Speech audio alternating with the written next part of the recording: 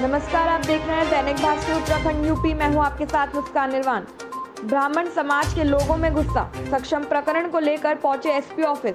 SP को सौंपा ज्ञापन।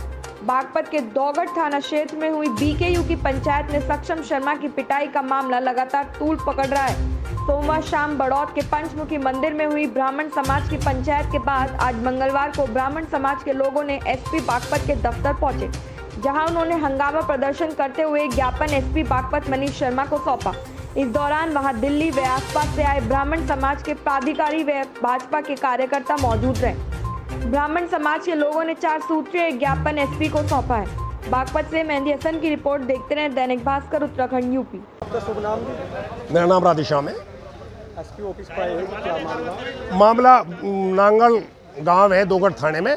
वहाँ सक्षम के साथ अन्याय हुआ है। पुलिस ने आरोपियों का पक्ष लिया है। उसके खिलाफ हम यहाँ हैं। जो आरोपित हैं वो दंडित किए जा और जो सक्षम के खिलाफ मुकदमा कायम करा उसे समाप्त करा जा और जो एसओ उनके दबाव में काम करा है उसको वहाँ से हटाया जाए सस्पेंड करा जाए उसके खिलाफ मुकदमा कायम हो।